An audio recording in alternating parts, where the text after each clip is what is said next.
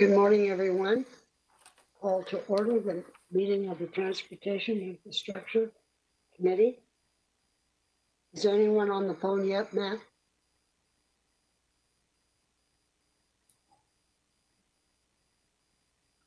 Just a second. Okay, Just a speaker for item 17.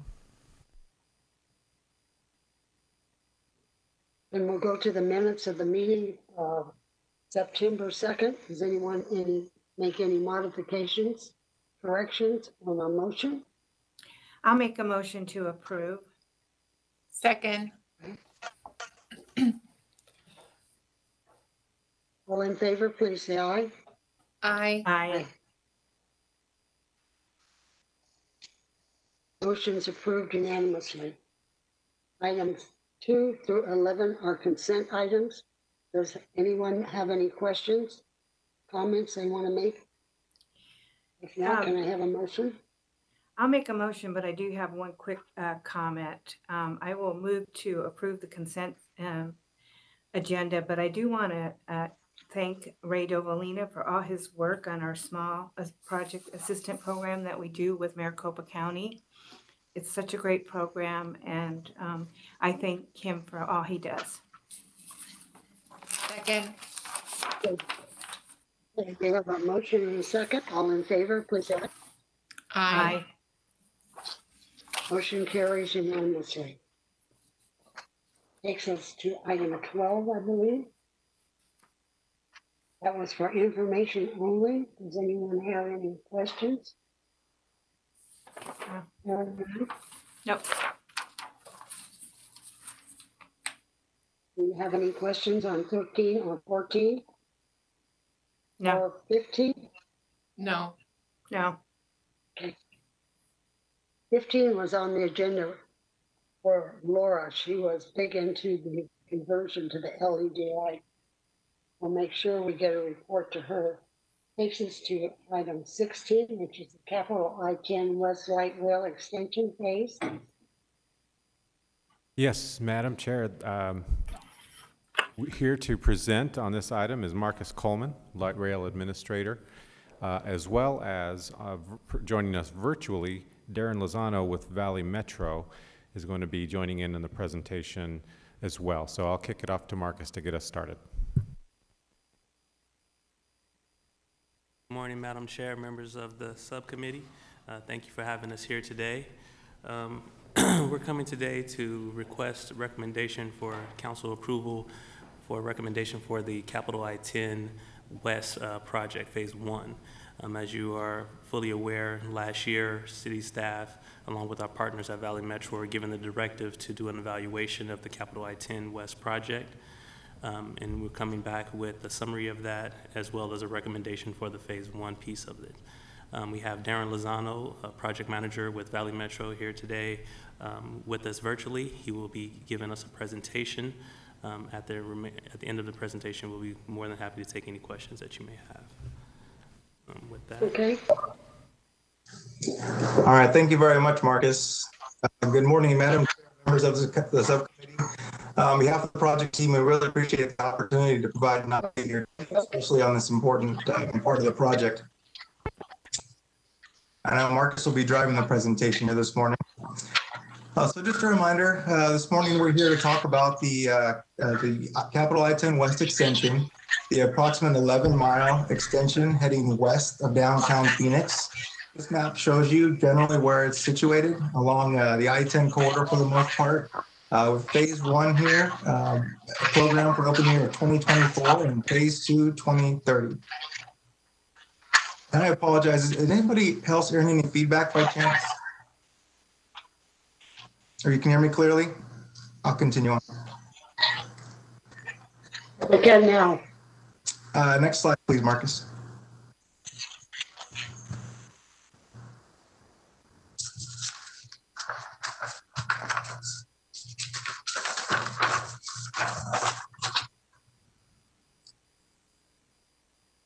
The next slide is up, Darren.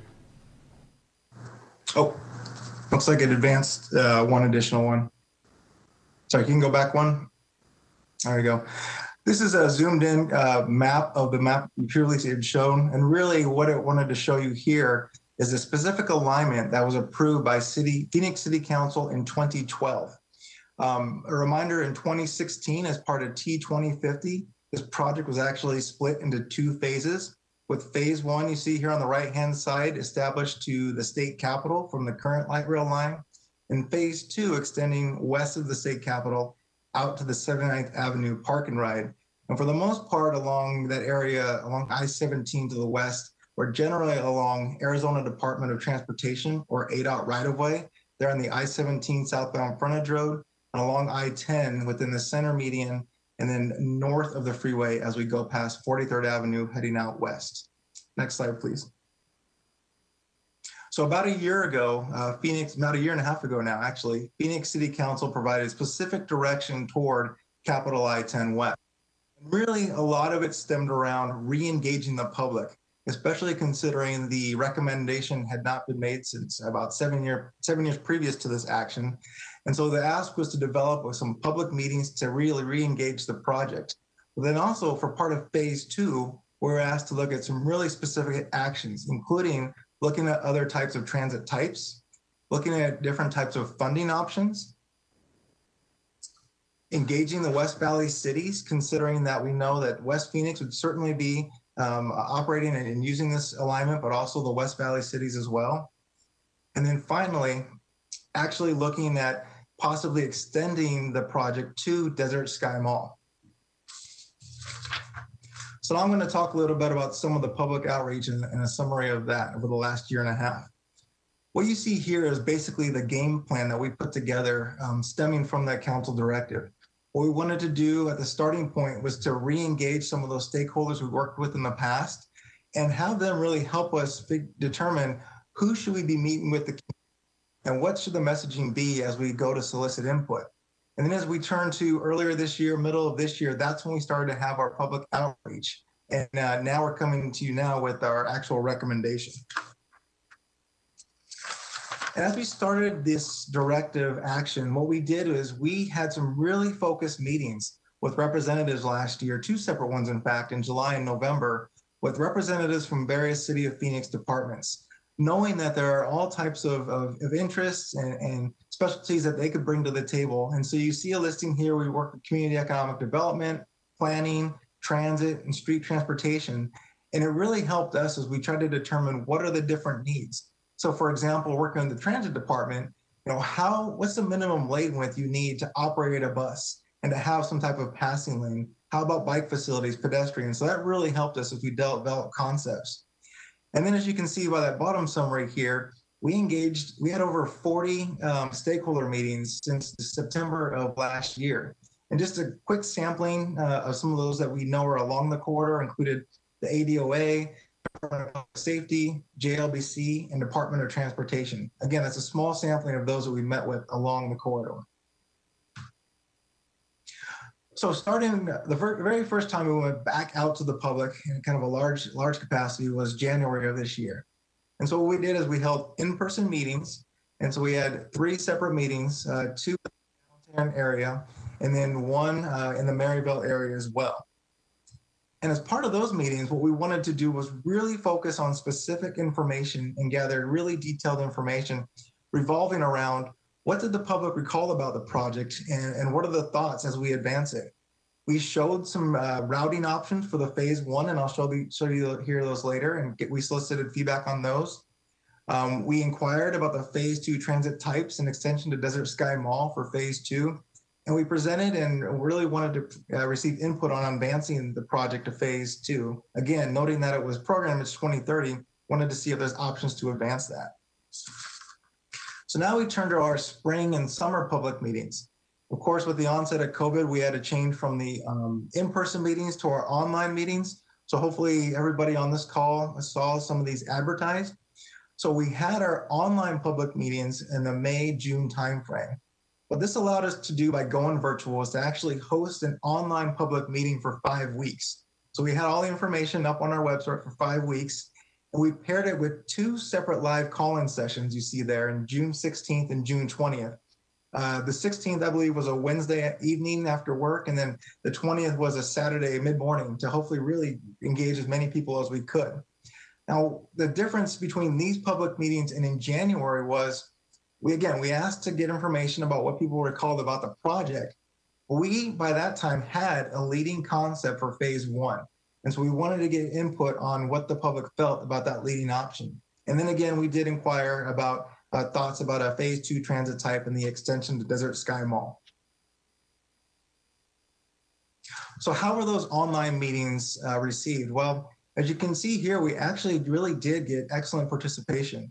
Uh, we have had over 1,300 people actually log in and, um, and go onto the website and learn about the project. And during those live call-in sessions you see there, we had 40 people call into the first one. We had 17 people call into the second meeting. And one thing I really do want to point out on this slide here is we really listened to the public during those meetings. During that first call, there was a comment made that people wanted more information about those phase one concepts um, because we had shown it in January, but we had really been focused on the on the leading concept for the next the summer the spring meetings. And so what we did is by that Saturday meeting, then also online, we actually presented all of the phase one options that were presented in the past. So it was a really good good interaction between the public and how we uh, approached getting public uh, public feedback. Next slide, please. So when it came to the actual feedback itself that we received, um, we had 334 people provide feedback, again, through those online public meetings in May and June. During the live call-in sessions you see there, on the first call, we had 15 people provide uh, input and then 16 on that Saturday session. We had three call our community relations person directly to provide input. And the really big success out of this was posting the online survey and inquiring information uh, in, in that, that way. As you can see here, we had 300 uh, separate comments come in uh, through the online survey. So when it came to the feedback itself, um, some of the things we heard really are, are going to help us shape uh, this project as it advances. And when it came to the question about what are the thoughts about the phase two transit type, when we asked people directly, do you prefer a light rail option or some type of busway option? And what you're looking at here are the concepts that we presented to the public. We had 149 people respond to that question, with 75% stating that they preferred a light rail option, 60% preferring the busway, and uh, 9% saying either no preference or uh, neither option. Part of that question. When it came to the Desert Sky Mall extension, again, kind of a one-sided answer here, but about 200 people responded to the, the question, should we extend the Desert Sky Mall? And as you see here, 77% felt that the extension to Desert Sky Mall would be a worthwhile component of the project, whereas 14% felt uh, really neutral about the this extension, with only 9% feeling negative about it. Uh, next slide, please. So now I'm going to shift focus to the phase one recommendation. And a reminder that phase one really here, as you see on the map, is that extension between the um, existing light rail line on the right side that's indicated by the kind of the, the, the 90 degree um, yellow line here showing the light rail line turning around cityscape. And then of course the state capitol on the left side. So again, this was the route that was approved by council on in 2012. And there was really opportunity to relook at this, um, relook at this route for a couple of reasons. One, again, it had been about seven years since this concept was approved. And so we know there's been a lot of change in the downtown area. So it gave us a really good opportunity to relook at this. And then secondly, and one thing you'll notice here is the South Central extension is actually missing from this map. That's because in 2012, we didn't have as much planning as we have now. So of course that downtown hub, which I'm sure everybody's familiar with, changed the limits of our project. So it's a really good opportunity to re-examine the phase one concept. Next slide, please. And so what I'm gonna show you now are the different concepts that we had looked at um, as part of the phase one analysis over the last couple years and presented to the public. Where we started was with a double track option along Washington Street here um, from Third Avenue up to the state capitol. And again, as we work through what are some of the issues in the downtown area, you know, one of the things that came up consistently was the constrained right of way along Washington Street. Um, we know Washington Street is a very prominent uh, thoroughfare in the downtown area. Uh, there's been a lot of work that had been done for the Centennial. We have some historic properties along the area. And so one of the challenges we saw with the Washington double street, the Washington Street double track was trying to fit in two lanes of light rail, traffic, bike, pedestrian became pretty challenging. And so then we turned to other options, including this concept A. And what concept A really did is it kind of flips our locally preferred alternative. So instead of being double track on Jefferson, now we're two tracks on Washington. But again, the same issues we had with that single line on Washington, we now had west of 7th Avenue around to the Capitol. So then the natural progression became, well, how do we minimize those impacts on just one street, whether it be Washington or Jefferson? So we looked at how the light rail operates today, east of the Capitol on single track along Washington and Jefferson.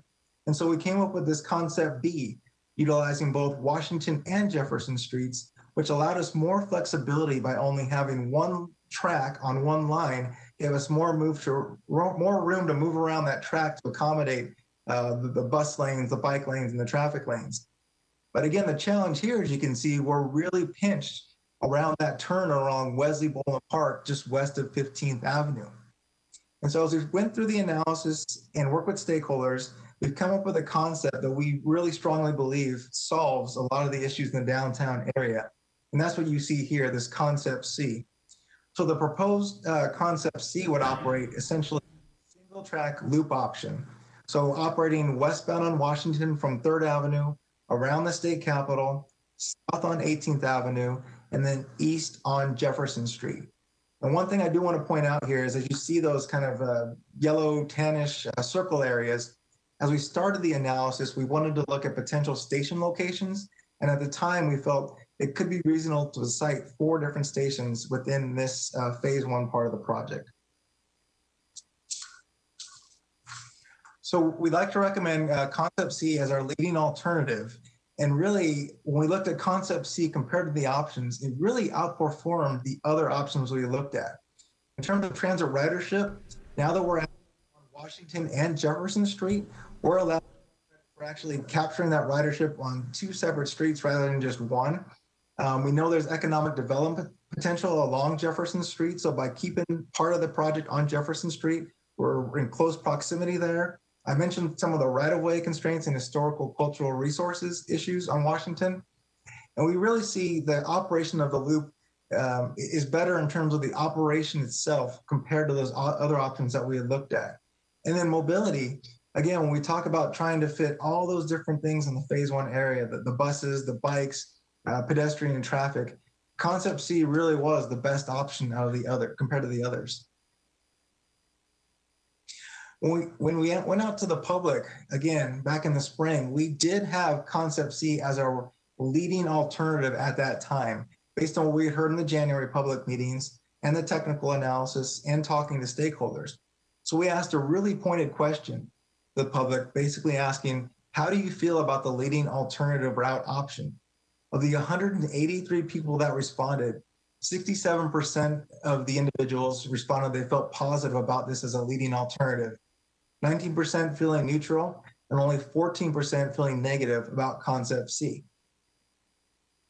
Now, you know, what we wanted to really do was for those people that had some type of adverse thoughts toward concept C, we wanted to know the why. You know, why were there any types of issues for concept C? And what we pointed out here are, are three responses that received directly. The first response related to, well, we feel like if you're on Washington and Jefferson Street, those tracks on Jefferson Street are a little further than Washington, so are you really serving the Woodland and Oakland neighborhoods? Another comment was if you operate on both eastbound and westbound um, tracks, it could be a little confusing for riders by not having the tracks on, on a single lane. And then finally, uh, we received uh, comments about um, if we're moving the light rail track to do two different uh, streets, are we actually accommodating for traffic by going that route?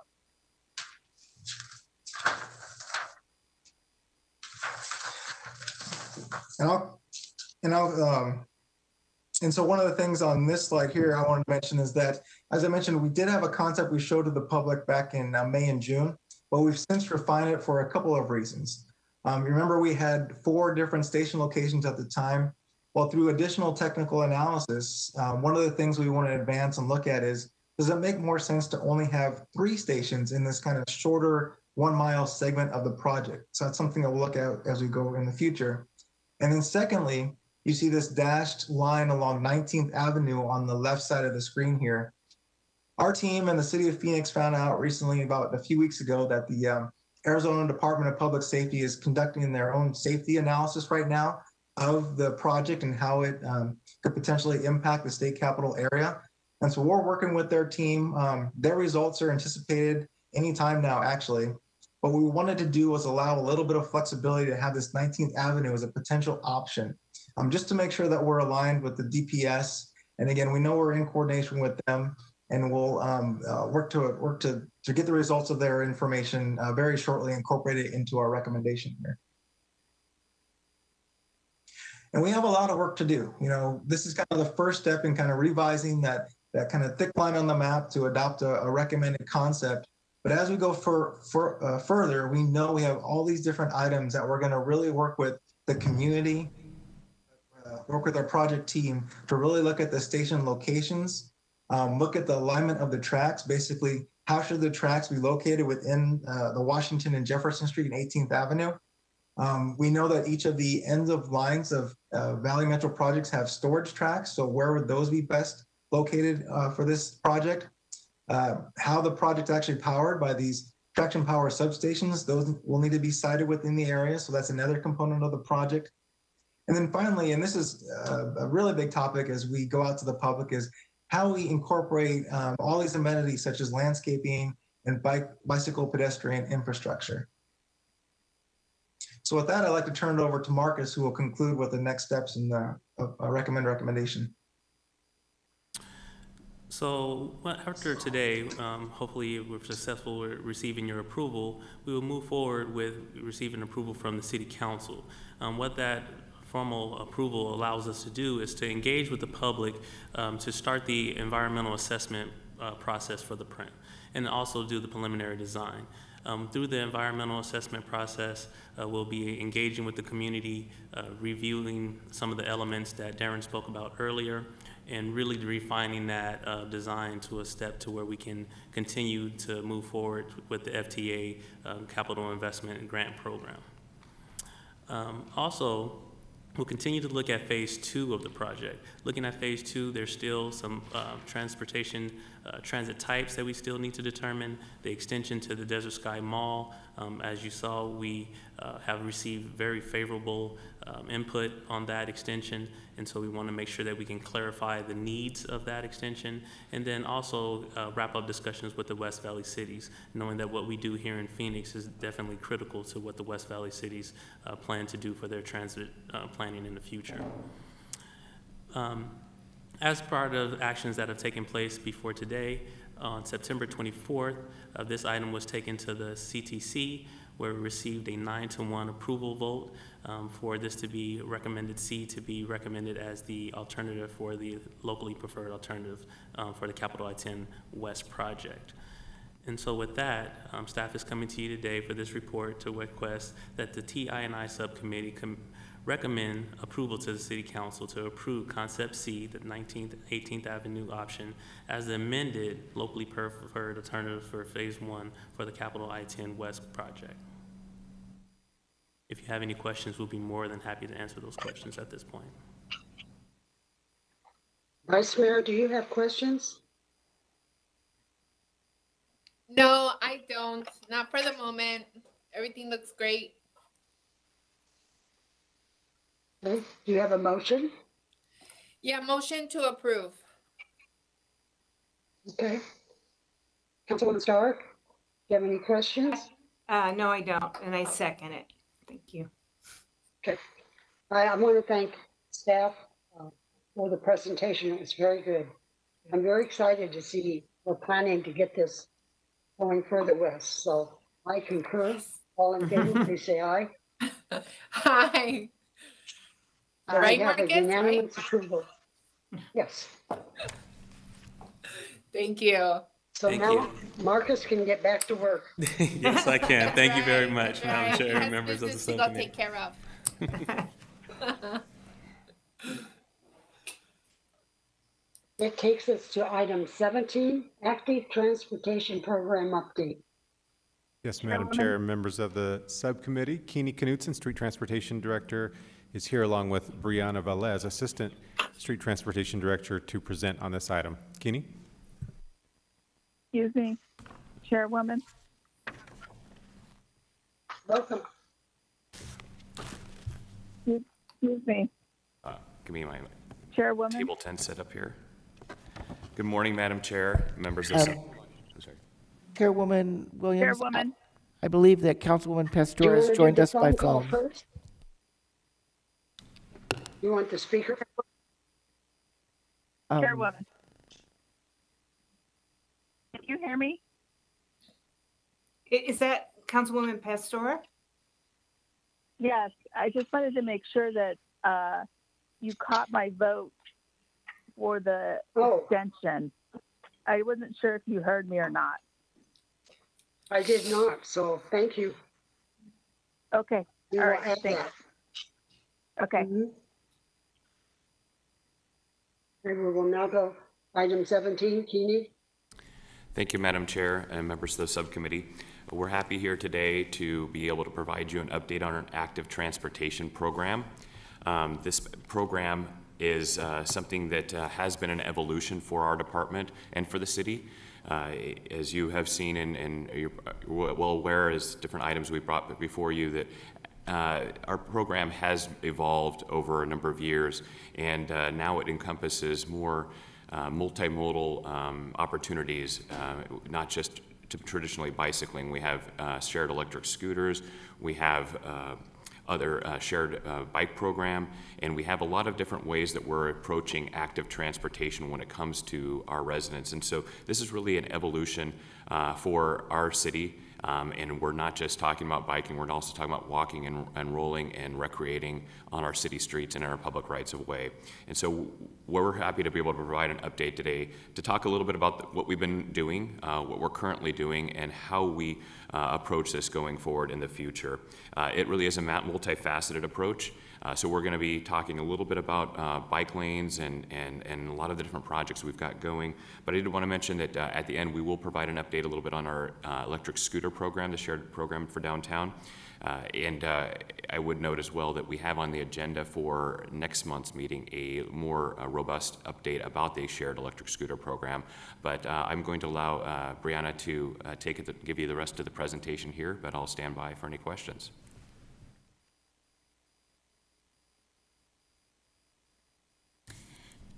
Thank you, Kenny. Madam Chair and members of this subcommittee, today we're going to be talking about expanding the city's bicycle network. We're going to be talking about the completed and future canal projects, which is our off-street um, active transportation network. I'm going to be providing an update on the active transportation plan. I'm going to be sharing with you the spring bicycle and pedestrian count information, as well as our bronze designation as a bicycle-friendly community and next steps. Streets is tasked with implementation of the T2050 goal of adding 1,080 bike lane miles over the 35-year period. This equates to 31 miles per year. The pavement maintenance program has been and will continue to be our greatest opportunity for increasing the number of bike lane miles. You will see that over the last four years, we have met or exceeded the goal of adding 31 bike lane miles per year. In fiscal year 20, we added 40 miles of new bike lanes, and in fiscal year 21, we have already added in close to eight bike, uh, miles of bike lane. We anticipate adding in about the same number of bike lane miles in fiscal year 21 as in fiscal year 20. The planning process for adding bike lanes happens closest to the current fiscal year. So although the future years show below the target, we do anticipate that the number of bike lane miles for future years will increase as we get closer to those actual years. The other opportunity that happens with our pavement maintenance program is the ability to narrow lanes to add in buffers to existing bike lanes. In fiscal year 20, Streets has added in bike lane buffers on 33 miles and plans to incorporate bike lane buffers on close to 60 miles of existing bike lanes from now to fiscal year 24.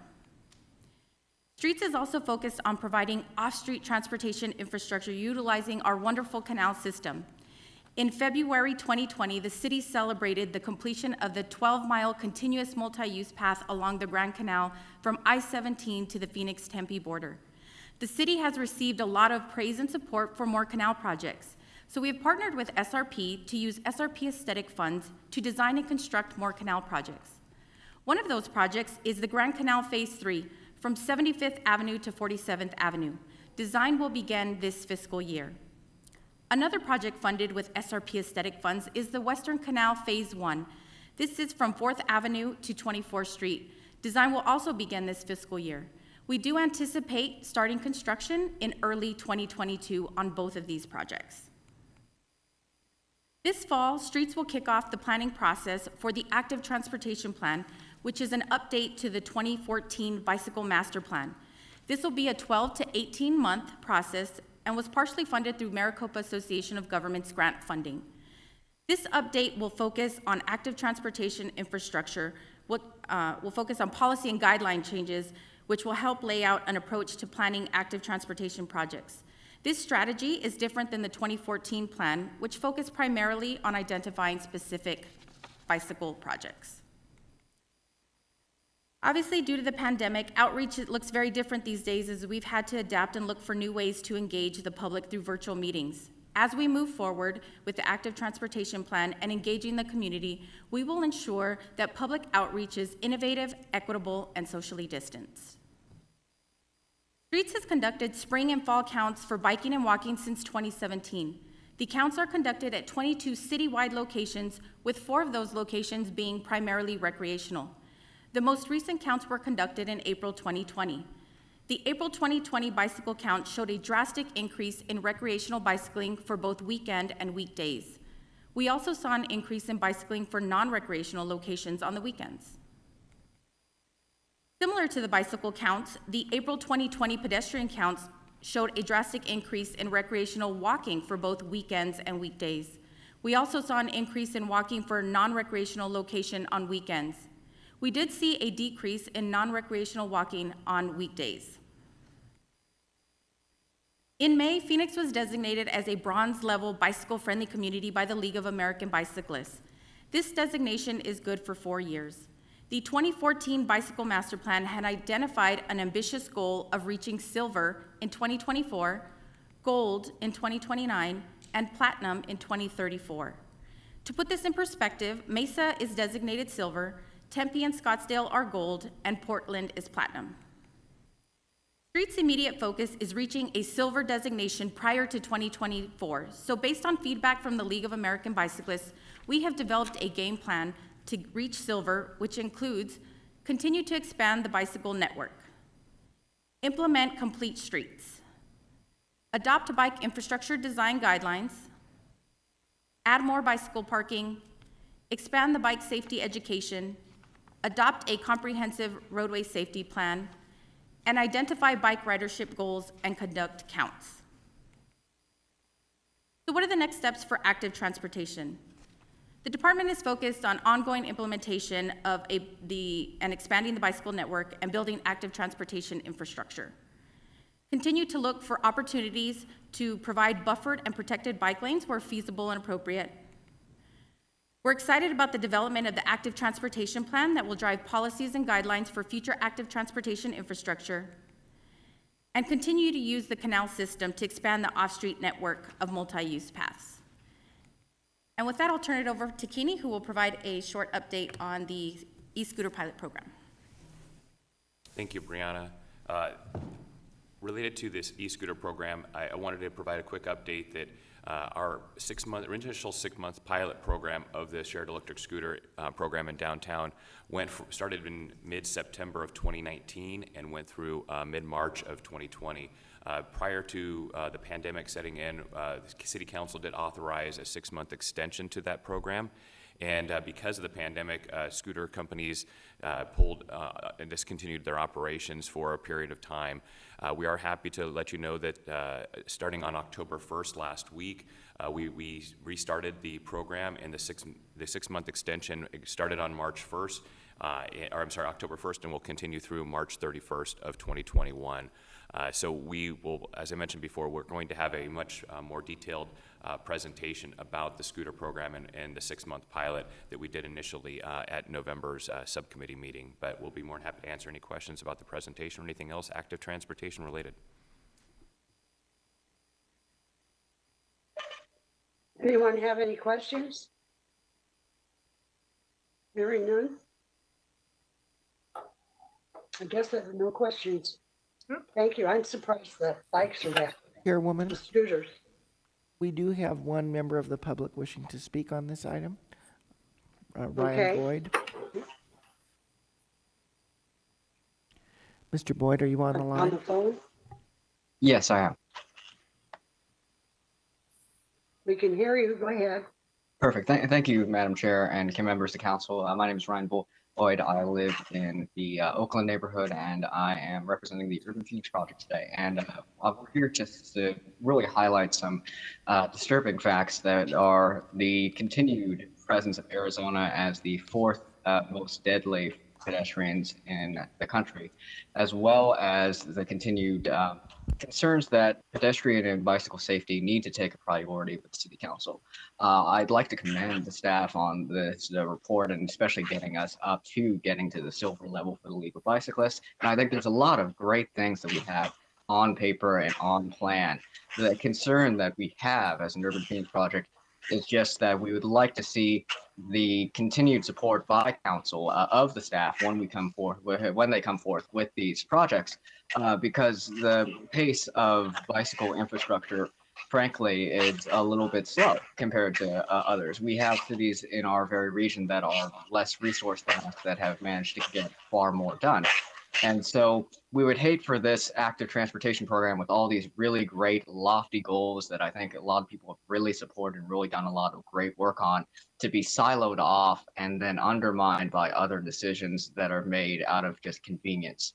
So with that in mind, we would truly uh, I- I urge you to back this plan and back the action when this comes through. As a great example on uh, Roosevelt Street, west of uh, Central Avenue to 7th Avenue, we had a huge um, discussion and debate uh, over a, a bike lane installation. And that's an installation that's really part of the urban core, part of, of the design of, of an interconnected uh, network. And so, the, as much as we love having these plans, we want to make sure that we don't have to fight tooth and nail every time we get through that. Thank you so much for your time, and thank you so much for looking into this issue. Chair, Thank you for your Chairwoman, comments. I have, I have a comment. Vice Mayor? Yeah, so I just want to thank Kini and the staff for the for the great presentation and all the great work that you guys do um, day in and, and day out. I'm very excited um, to see the canal project extending out to the west side.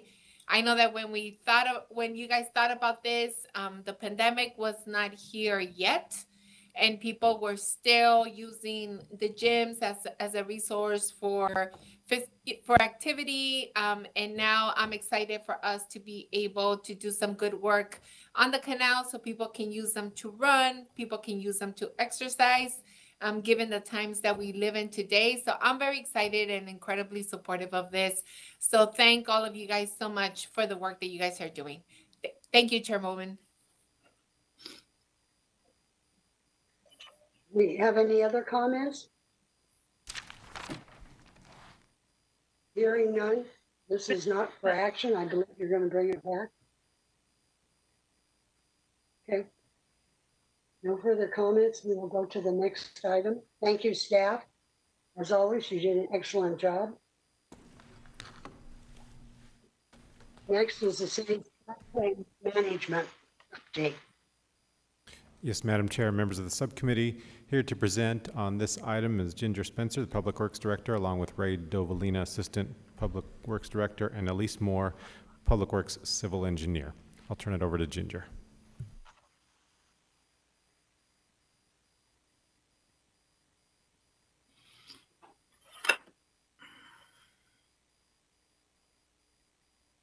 Thank you, Mario. And good morning, Chairwoman Williams and members of the subcommittee. Thank you for your ongoing support of the city's floodplain management plan.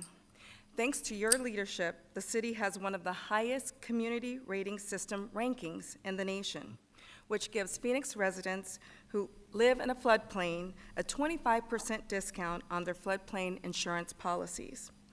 As Mario mentioned, I'm here today with Ray Dovalina, our Assistant Public Works Director and Floodplain Administrator for the city, and thank you for your recognition of his efforts earlier in the meeting today. and Elise Moore, who is our Civil Engineer 3 from our floodplain management team. Um, We're going to discuss some administrative changes that are needed in the plan to maintain our ranking, but no action is required today. But we want to start the process of updating our plan, seeking community input on the suggested changes that staff will have in just a moment, and return at a later date uh, to seek approval of recommended changes. And with that, I will turn it over to Ray Dovalina. Thank you, Ginger. Madam Chair and, and members of the subcommittee, uh, we're, we're providing the information about this update. And first of all, uh, with regards to the floodplain management plan, um, it was prepared back in 2015 and it was adopted by City Council in 2016. Um, This basically provides an overall uh, strategy for programs, projects, mitigation measures, as it's aiming to try to reduce um, basically flooding in the, in the future, and hopefully we don't have bad floodings uh, in the, in the uh, city of Phoenix. So this is an- just an outline of what we've done before, and then also some of the uh, things that we have to do as a community participating in the National Flood Insurance Program, and also another very important, as Ginger mentioned, the community rating system, which provides uh, uh, premium discounts to the to the to the um, residents of City of Phoenix that are purchasing uh, yearly flood insurance. So with that, I'm going to pass it to Elise Moore, and she'll get get into the presentation. Thank you, Ray. Madam Chair, members of the committee, th- this slide shows what the CRS participation uh, gives our residents in discounts. The city of Phoenix is currently a Class 5, and as you can see, that gives us a 25% discount to residents on their insurance when they're in the special flood hazard area. You can see over the years, we've improved our rating, and so we're very happy to be at a Class 5 at this time.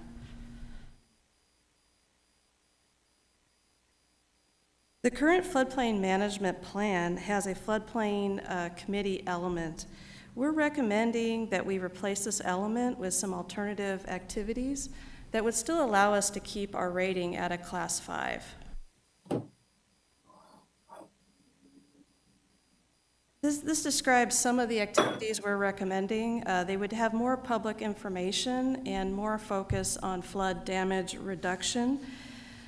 They would emphasize the public outreach elements.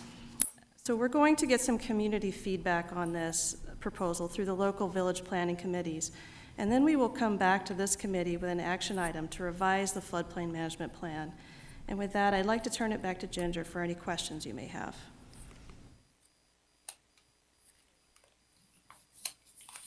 Thank you, Elise and Ray. So, Chairwoman and subcommittee members, um, again, we are asking to go out to seek um, community input um, on the recommended changes to the plan. Again, these are just administrative changes that are required. When the plan was originally approved, uh, it called for a floodplain committee, a, a citizen-led committee, uh, and that usually is done through a bond program. And so because we have not had a bond program since the plan was implemented, that's why we're coming forward and um, going to be recommending this change. So these are other activities that we can do so that we can maintain our community um, rating system ranking of number five, which I must say, um, there are only two other cities or counties in the nation that have a higher ranking or the same. And so with that, we'd be happy to answer any questions you may have. Thank you. Chairwoman? Vice Mayor? Yeah, thank you. Thank you so much, Ginger, for that presentation. I think it's um, something that's overdue. Um, so I'm excited of seeing you guys come up with this. I think um, community input is incredibly important. So also um, curious to see what community has to say. Um, let us know if there's anything that we can do to be helpful with that process. I, I know that it's always important to making sure that we hear our constituents and we hear what the community has to say. Um, so whatever there is that you think anywhere where we can be helpful, let us know. And, and we want to make sure that people feel that their voices were heard and, and, and we're here to help. So thank you so much for that. Thank you. Madam Chair, this is Councilwoman Pastor. Can you hear me?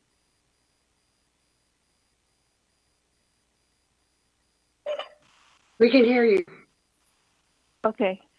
Ginger, I have a question. Um, I appreciate the work that's that's being done uh, since uh, we're, we're not there for a bond.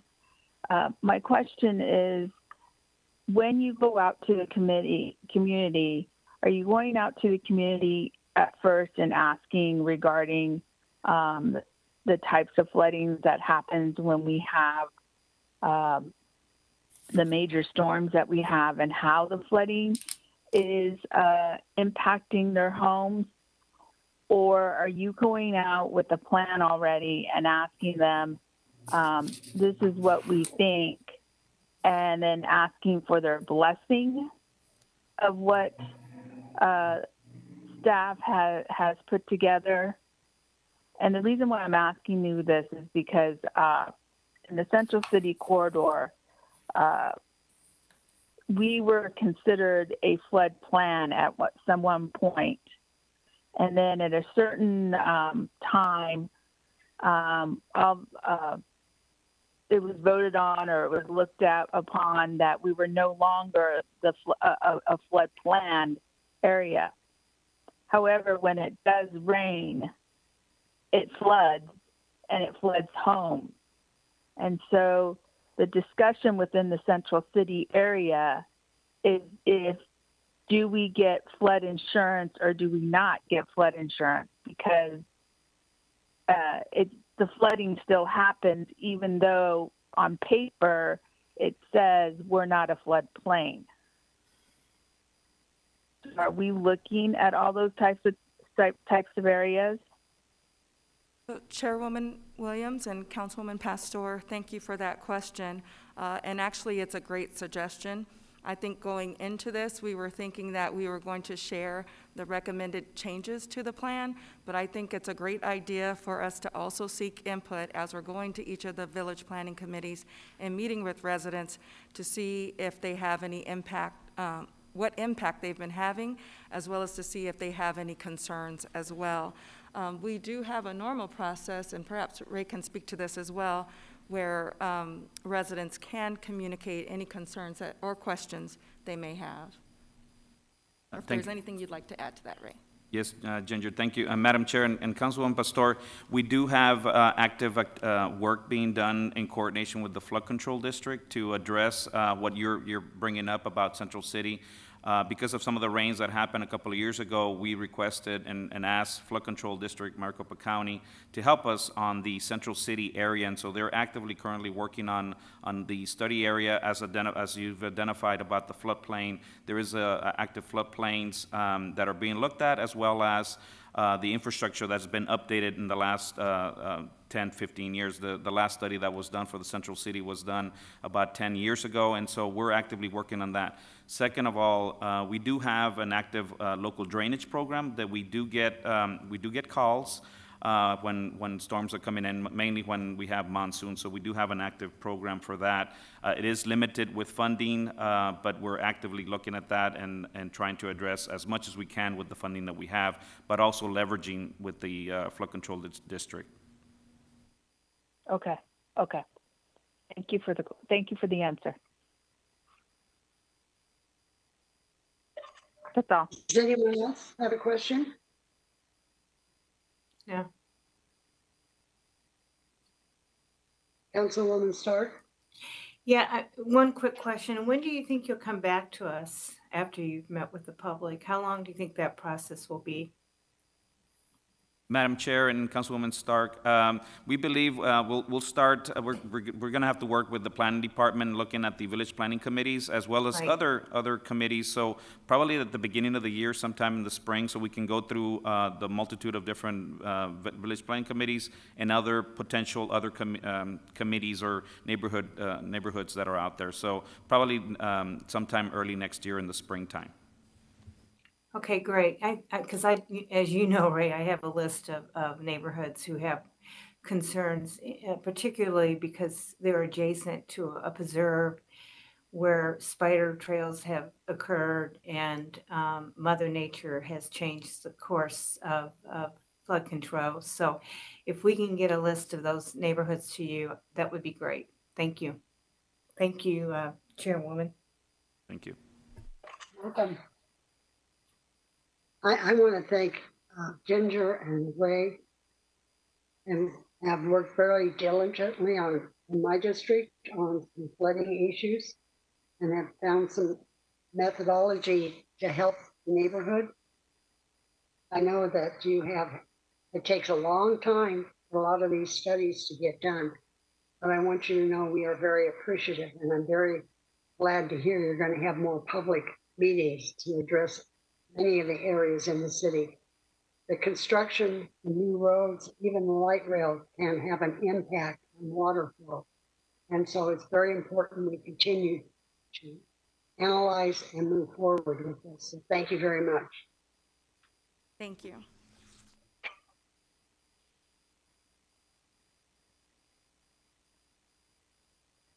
And, and Madam Chair, uh, for the next item, Ginger Spencer gets to stay here at the table for the next presentation uh, with, along with Joe Giudice, Assistant Public But Works we do like to grill. We like to grill Ginger. Okay. Thank you, Mario. So you're, Thank you, Chairwoman Williams and Yes. subcommittee members. Um, I want to thank you uh, and the City Council for your leadership in February of this year to increase our solid waste rate, which had not been increased in nearly 11 years, so that we can continue recycling for Phoenix residents.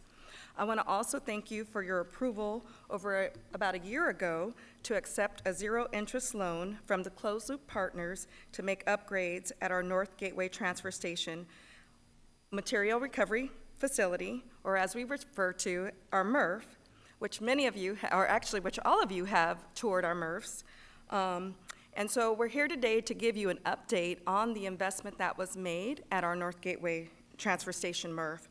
And so I'm here today with Joe Giudice, our Assistant Public Works Director over our solid waste area, and John Powell, who is Vice President with Closed Loop Partners. And John is joining us online today. And before we jump into the presentation, I'd just like to acknowledge some individuals who've worked on this project, um, starting with the members of our solid waste team, uh, which is led by Joe Giudice, as well as um, our deputy over our disposal and diversion division, who is Rick Peters. So I'd like to thank them and their team. I'd like to acknowledge Ron Gonen, who is the founder and CEO of Closed Loop Partners, and his team. I also want to thank Denise Olson, who, our CFO, who helped us with the financing on this project, as this was a new financing structure for the city. And I'd also like to acknowledge our MRF operator, Republic Services, who processes the recyclables and sells them on the market. And lastly, I'd like to acknowledge Felisa Washington Smith, our Assistant Public Works Director, our admin, fiscal, and procurement teams, and the law department for everyone for making this happen. And with that, I will turn it over to Joe.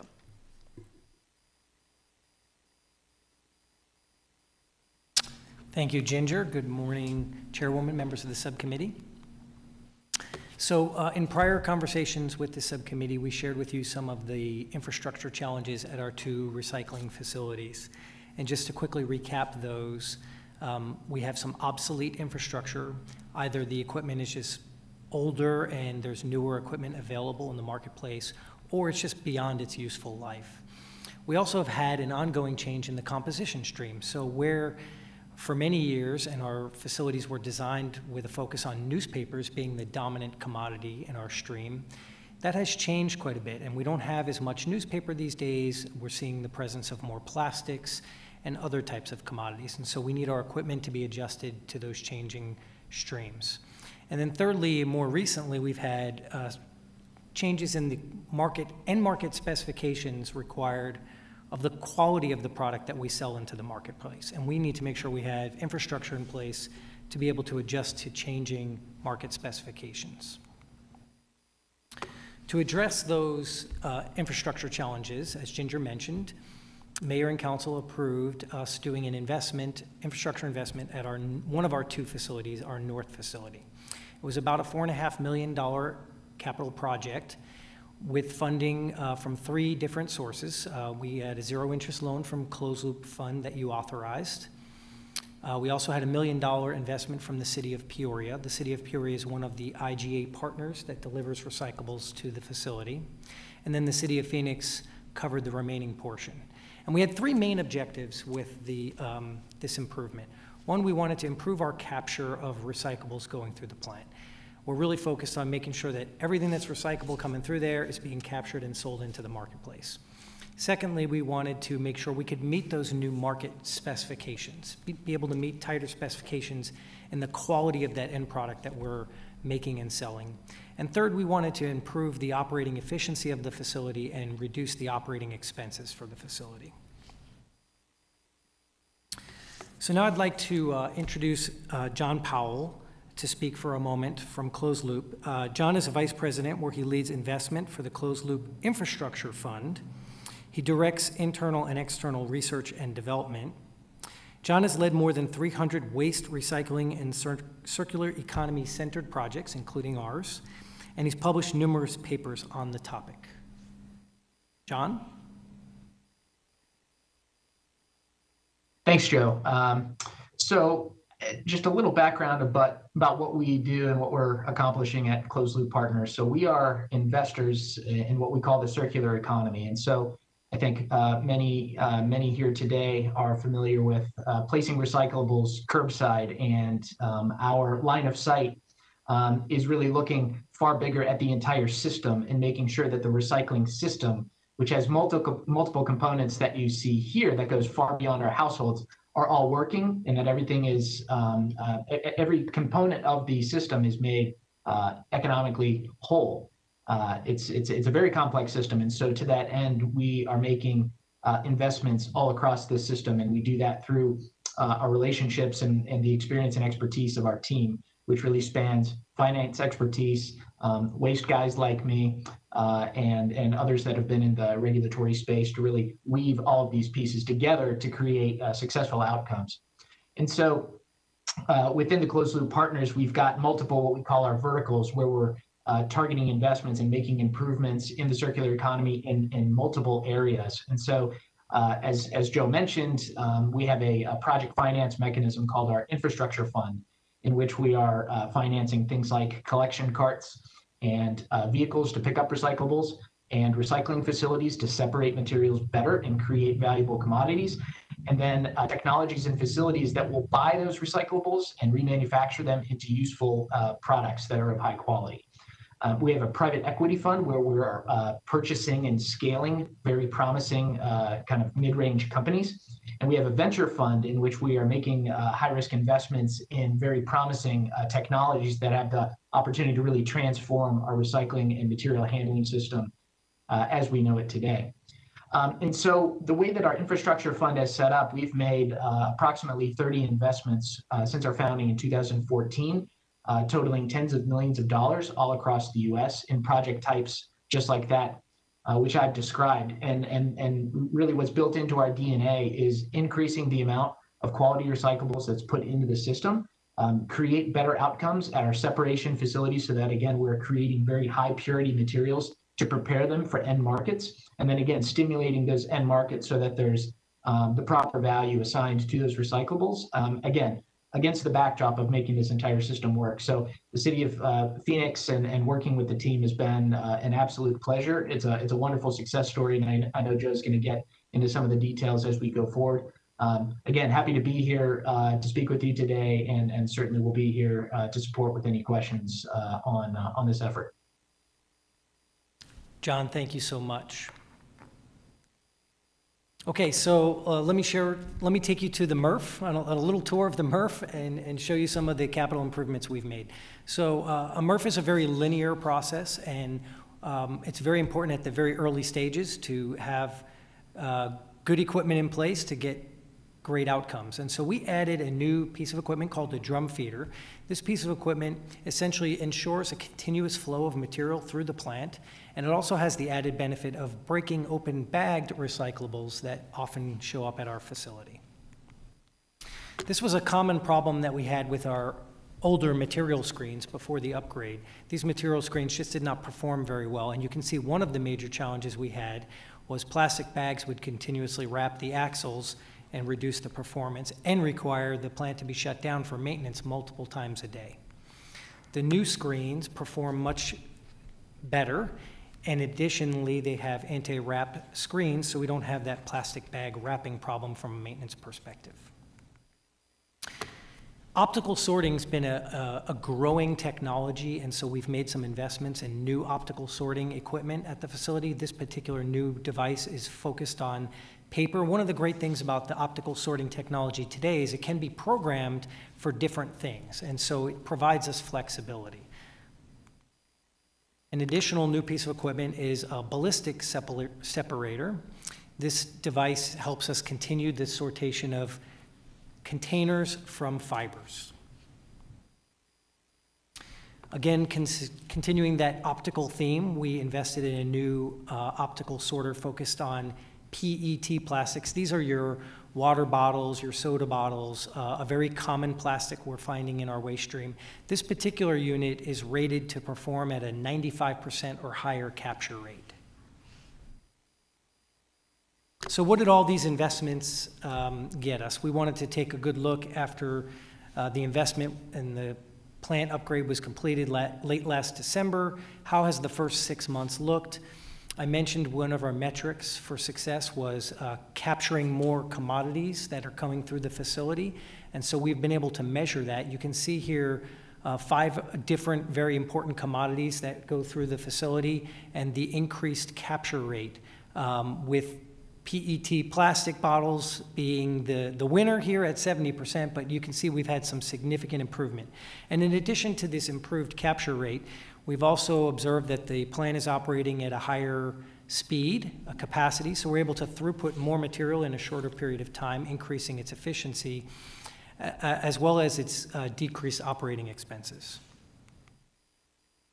Then we want to take a look from a revenue perspective to see uh, how these infrastructure improvements are performing. So this chart uh, demonstrates from July of 2019 through July of 2020 um, our revenues. So the light blue bars are actual revenues of all commodity sales. You can see for July, August, and September of 2019, that was pre-upgrade. The October, November, December period, there's no data because the MRF was under construction then. And then the blue bars uh, going from January through July represent our revenue. The gray bars adjacent to the blue bars in the January through July of 2020 period represent our best estimate of what the revenue would have been had we not proceeded with the infrastructure improvements at that facility. The closed loop fund has been very generous in, in uh, making a no interest loan, but it, we still need to pay back the principal on that loan. And so that, those payments will be made over five years at 600,000 per year. And we wanted to ensure that the additional revenues we were receiving from making this capital improvement would more than cover the costs of that. And so you can see here the green bars represent the revenue that we're anticipating and forecasting relative to the payback of that principal. So I want to uh, pivot and give an update on the recycling market, but before I do that, uh, let me detour and just remind you that we have another recycling facility in, at our South Phoenix location at 27th Avenue. That particular facility is approaching 30 years of age, and much of that equipment has been there for 30 years of age, and so it, it does meet that definition of obsolete and in need of uh, a significant capital improvement. And so our plan is to come back to you in the next few months with a strategy for the 27th Avenue re recycling facility. And now I'll uh, give a quick market update on the recycled commodities. So this chart represents, uh, again from that time period of July of 2019 through July of 2020, uh, about a year, a little over a year, uh, our sale price, and this is for the particular commodity of cardboard because cardboard is one of our primary commodities. You'll notice there are three different lines on this chart. Uh, the, the lower line, the tan line, is uh, representative of the published average regional sale price during that time period. The gray line uh, in the middle of the chart represents the national average published rate.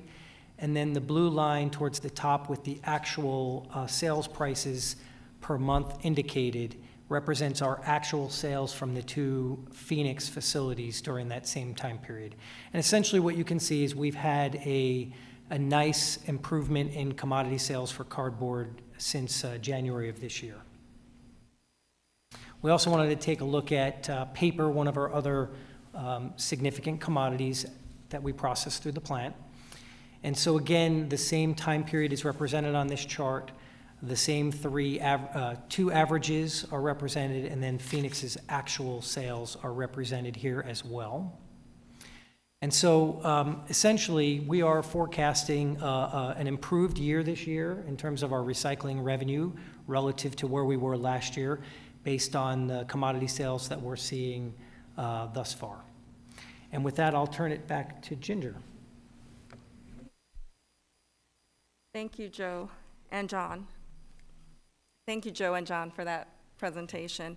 Um, Again, Chairwoman Williams and um, subcommittee members, we just want to thank you again for your leadership. We get calls from cities across the nation, and we would not be in this position um, today if it weren't for your leadership and the actions and decisions that were made previously throughout the year so that we can continue to support recycling in Phoenix. And again, this not only benefits Phoenix, but it also benefits the other cities that we have partnerships with who bring their recyclables to us and pay for that as well and share in the revenue. And definitely, uh, we would not be here without the partnership and the funding from the Closed Loop Fund, as well as the investment from the City of Peoria. And with that, we'd be happy to take any questions. Ginger, I have a question. Is the recycle market better than it was a year or so ago? Is it, do you have new markets? So Chairwoman Williams, that is a great question. Um, What I would say is we still have the restrictions in place that we did a year ago um, when we, um, when internationally, the China Sword was put into effect. But as you can see from the presentation uh, that we gave today and the efforts of staff and the upgrade of this equipment, uh, we have actually been able to improve the quality of our recyclables, and we've been able to improve the capture rate of our recyclables, and so that's what you're seeing is a return on that investment. And I don't know, Joe, if there's anything else you'd like to add to that, or if I covered it. I I can certainly add, uh, Chairwoman, uh, we are seeing an improvement in the markets for, uh, in particular, cardboard and recy, uh, um, I'm sorry, cardboard and paper. The other commodities, aluminum, et cetera, they- they've remained relatively steady throughout. Um, And, and we are seeing some international market demand outside of China starting to develop, a- as well as uh, an improved domestic market for those commodities as well. So uh, the, the answer is yes, we're seeing an improved uh, recycling market today relative to a year ago, which was pretty much the bottom I've seen in my career, uh, was, was probably last year.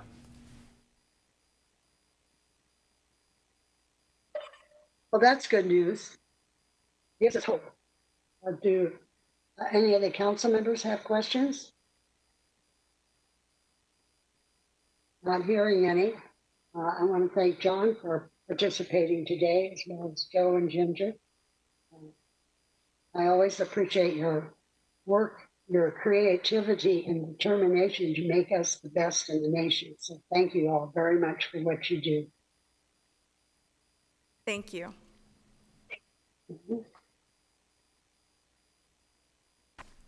Matt, do we have any calls? We don't have anyone on the line to speak.